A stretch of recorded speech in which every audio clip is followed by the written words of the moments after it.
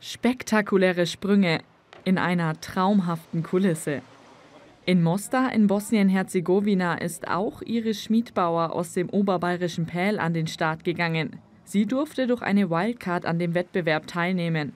Die Klippenspringerin landete mit ihrem Sprung auf Platz 9. Also es ist natürlich super schön hier in Mostar, ähm, sind die perfekten Bedingungen.